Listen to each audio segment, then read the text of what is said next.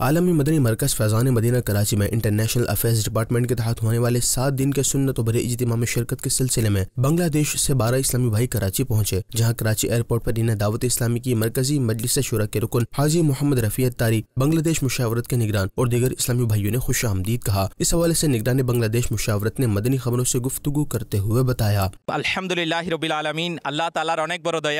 प्रियो आकाश बांग्लादेश বাংলাদেশ থেকে একটি মাদানী কাফেলা আলহামদুলিল্লাহ রবিল আলমিন উমরা করে ইনশাআল্লাহুল করিম আজ বাবুল মদিনা করাচি মুর্শিদের শহরে হাজির হয়ে গিয়েছে তো এই আশিকানে রসুল আপনারা যারা মাসাল্লাহ বাংলাদেশের মধ্যে রয়েছেন আপনাদেরকেও দাওয়াত ইনশাআল্লাহুল করিম পরবর্তীতে মাদানী কাফেলা নিয়ে মুর্শিদের বারগাহে হাজিরি फैज़ान मदीना कराची में पहली नवंबर से सात नवंबर तक हमारे ज़िम्मेदारान के लिए अल्हम्दुलिल्लाह आशकान रसूल के लिए सुन्नत भरा इज्तम होने जा रहा है दुनिया भर से आशकान रसूल के काफ़िले आना शुरू हो गए हैं। अल्हम्दुलिल्लाह, आज एक काफ़िला बंग्लादेश से बजरिया मदीना पाक हाज़िरी देकर यहाँ अमीर अहल सुन्नत की खिदमत में हाज़िरी के लिए आ चुका है। इन सातों दिन तरबियत का सिलसिला होगा। इसके बाद भी इनमें से साहिब यहाँ क्याम करके सीखेंगे।